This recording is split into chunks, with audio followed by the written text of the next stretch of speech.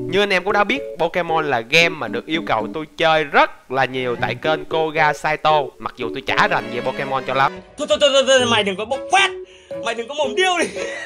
Và trong đó có game Pokemon Unite được anh em yêu cầu tôi chơi khá nhiều. Nhưng mà game này hình như là không phát hành ở Việt Nam Nên ban đầu tôi chả biết cách nào có thể chơi được. Nhưng rất may tôi đã tìm được một cái giả lập có thể chơi được game này trên PC Và let's go!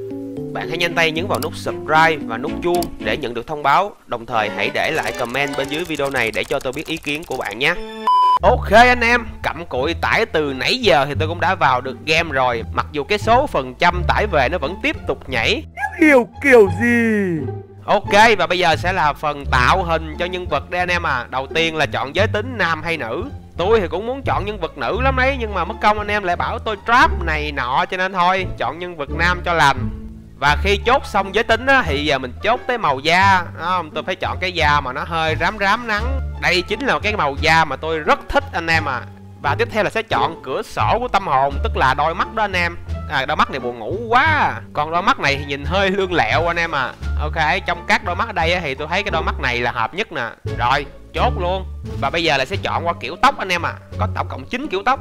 Đu tóc này giống cầu thủ vải. Còn mấy cái bộ tóc dài này nhìn lãng tử vải cả nồi luôn nhưng mà nó không hợp với tôi cho lắm còn mấy cái kiểu tóc mà mái dài bộ xù này hình như qua thời rồi cho nên là cái này là hợp với tôi nhất nè. Ok chốt luôn. Vãi luôn đầu cắt moi. Bây giờ qua tới phần chọn màu tóc nè. Đối với tôi thì chỉ có màu đen thôi anh em à vì màu đen là màu huyền bí mà. Đến khi già đi bạc đầu rồi mới ướt mình tóc đen. Và bây giờ là chọn tới trang phục thì chỉ có hai bộ thôi. Nhưng mà tôi thấy cái bộ màu cam này rất là giống với dân đánh gon đánh gon hiện giờ đang hot lắm. Ok bây giờ mới chính thức vào trận này. Và con pokemon mà tôi được điều khiển chính là con pokemon pikachu. Và những bước đi đầu tiên thì sẽ có hướng dẫn hết cho nên tôi thấy là khá là dễ tiếp cận ha. Rồi bây giờ là đến lúc bem nó rồi anh em à. Tôi không biết con Pikachu của tôi là như thế nào nha Nhưng mà nếu đây là con Pikachu của Thánh Satoshi á, Thì chỉ cần một vẫy nhẹ thôi là mấy con này đã lên đường hết luôn. Vì tôi đoán xương xương á thì con Pikachu của Thánh Satoshi tới giờ là level chắc cũng phải mấy ngàn rồi đó. Ok bây giờ là lúc ghi điểm đây anh em à. Làm một cú slam lên úp vào rổ. Ừ. Tiếp theo là tôi sẽ đối đầu với lại con Wartortle anh em à Tôi không biết trong game này có cái vụ khắc hệ hay không. Nếu mà có đó ha thì tôi chấp nó luôn. Mặc dù nó đang là con Pokemon tiến hóa cấp 2 Nhưng mà hệ của nó đang bị tôi khắc Với lại với trình độ thượng thừa như tôi á Thì nó không có cửa đâu Thấy chưa? Đừng có mà đùa. Bruh. Tiếp theo là tôi được tham gia vào một trận năm đấu năm anh em ạ. À. Và nhìn tên tụi nó thì tôi biết chắc chắn tụi nó là boss rồi cho nên thôi, trận này có thắng tôi cũng không dám gáy đâu. Mất câu anh em lại bảo là, ui, chơi với boss mà đặt gáy gáy. Ok, và trận đấu này thì tôi sẽ sử dụng con thằng lằn đuôi lửa nha anh em. Tại sao tôi không gọi là khủng long lửa như những người khác mà tôi lại gọi là thằng lằn? Vì tôi thấy con này khi tiến hóa lên cấp 3 nó mới nhìn giống khủng long. Còn cấp này thì nhìn nó giống con thằng lằn hơn. Mà trận này năm đấu năm có bạn bè đồng đội đi chung vui quá anh em à. Ủa mà tụi nó là boss mà. Ok, hốt nó Hốt nó. Lên đường nè con. Quá ngon luôn Đu tiến hóa luôn anh em à Con thằng lằn lửa này thì chắc đứng từ xa phun lửa cũng được rồi anh em à Cho mấy thằng bò lại nó đánh gần đi. Đấy Mình đứng từ xa mình khè lửa được rồi. Ui dạ ui dạ Ui no no no no no no. What the hell man? Ui trời. À, Mấy anh manh động quá. Từ từ chứ. Tốt hơn là nó giữ khoảng cách anh em à vì tôi chọn với cái bộ skill á là sát thương phép chứ không phải sát thương vật lý. Ấy bây giờ đến lúc slam lên úp bóng vào rổ đi anh em à quá dữ tiến hóa cấp cuối luôn. Đó, nhìn bây giờ mới giống khủng long nè, chứ còn nãy giống thằng lằn thế bà. Bây giờ tôi sẽ test thử chiêu cuối của con này nha, để xem nó như thế nào. Đây.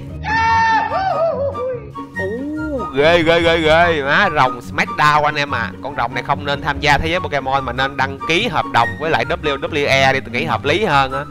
Gì đây? Ui, pokemon huyền thoại xuất hiện anh em à.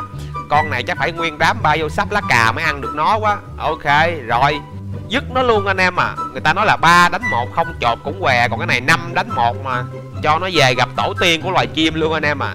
Đấy đừng có mà đùa à, ai tăng thì tăng đi mình đứng từ xa mình khè lửa đốt đít nó được rồi.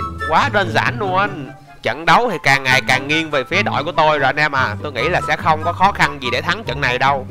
Ủa mà quên tôi đâu có nên gáy đâu đúng không? Trận này đấu với boss mà. Thôi không gáy không gáy. Ok còn có vài giây à tranh thủ ghi thêm điểm anh em à.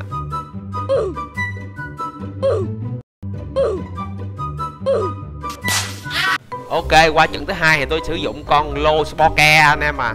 Đọc đúng là slow bot mà tôi đọc là slow boke quen rồi. Ok á con này nó hệ nước nha. Mà nó bắn nước y như nó khạc nước miếng vô mặt người ta vậy đó. Nhưng mà không sao đang thời covid đó thì khạc nước miếng là một cái chiêu rất là nguy hiểm mà ai cũng sợ anh em à. Đứa nào chưa tiêm vaccine lỡ nhiễm cái đi toan luôn. Đó cho nên tôi thấy con này khá là lợi hại nha. Ấy mày chạy đi. Cô đồ nã chúa tới nè con. Bèm nó anh em ơi bèm nó đủ tiến hóa luôn anh em à tiến hóa xong có cái con nào đó nó cạp vô đít mình. À, càng tiến hóa thấy con này nó càng đau nha. Bởi vì có cái con gì đó nó cạp vô đít mình thì chắc chắn là đau rồi cho nên là cái con này nó tiến hóa là làm tôi khó hiểu nhất luôn á. Tôi được biết là hình như nó còn một bậc tiến hóa nữa là con này nó cạp lên đầu luôn chứ không phải là cạp vô đít nữa. Nhưng mà cũng nhắc cho anh em nhớ nha trận này là tôi đấu với người chứ không phải còn đấu với boss nữa nha. Đó vì là đấu với người cho nên là độ khó của nó nhất định phải cao hơn rồi. Nãy giờ tôi chưa ghi được điểm luôn á. Cứ bem xong thằng nào là thằng khác nó ra nó đép liền luôn. Cho nên là nãy giờ chưa ghi điểm anh em à cố gắng ghi điểm mới được. Cái con nhìn giống con chó sói này, nãy giờ nó cứ canh tôi, nó dí không à anh em à. Mặc dù tôi đứng chung với rất là nhiều đồng đội nha, mà nó vẫn dí á. Nó ghét tôi hay gì trời, chả hiểu nổi. Rồi, ghi điểm thôi. Thấy chưa vừa định ghi điểm mới có thằng ra đép liền luôn, bởi vì đánh với người nó khác hẳn, đánh với máy nha. Mày ra đây, mày ra đây. Mày ngon, mày ra khỏi vòng mày ngon, mày ra khỏi vòng, đứng trong vòng bơm máu là chơi không đẹp rồi, cu à. Ra đấy ra đấy, ui, chạy rồi. À lại là cái con chó sói nè. Mày ra đấy. Phải dụ nó vô đám đông anh em à chứ một mình bem nó thì tôi nghĩ là tôi cũng đánh không lại đâu. Tôi tính tình hơi nhát nha, anh em thông cảm. Ra đây, đó, dụ nó vô đồng đội nè. Anh em đâu? Anh em tôi làm gì á, không biết. Thôi, một mình tôi xử luôn cũng được. Một hit. Bớt đùa đi, cu con này thì tôi xây dựng cho nó theo hướng cũng là bắn từ xa. Đó đó là sở trường của tôi mà anh em, chứ tôi ghét sắp lá cà lắm. Nhưng mà bị cái là con này tôi thấy nó di chuyển hơi chậm. Chắc là do nó hơi thừa cân anh em à. Con này mà tập thể dục giảm chừng thêm 10 kg nữa là quá bá đạo luôn á. Rồi ghi điểm nè.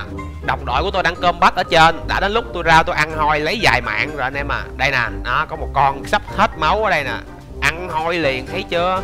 Đôi khi chúng ta không nên thể hiện, không nên solo làm gì. Đó, nè nè, thêm thằng nữa nè ăn hoi nè ăn hoi nè. Ui trời bị ks mà cũng được. Đó tôi là thích vậy á. Tôi thích chơi bọc hậu úp sọt à chứ tôi không có thích solo. Trận này chắc là thắng nữa rồi anh em à. Và tôi nãy giờ cũng chưa chết mạng nào luôn. Xin vĩnh biệt cụ tới lúc dùng chiêu cuối rồi anh em à. Thì chiêu cuối hấp tinh đại pháp.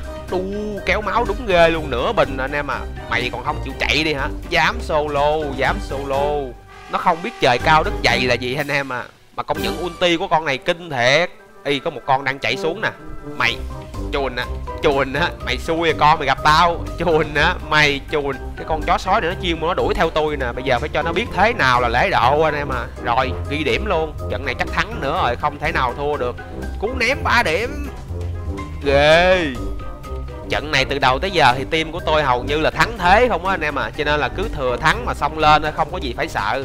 Mặc dù là tôi gần hết máu rồi đó nhưng mà xung quanh tôi vẫn còn rất là nhiều đồng đội. Cho nên là nếu mà bây giờ tôi quay về thì tôi phụ lòng đồng đội của tôi quá. Cho nên là thôi xông lên luôn bền gì cử Ê, đang có combat phía dưới xuống hỗ trợ liền.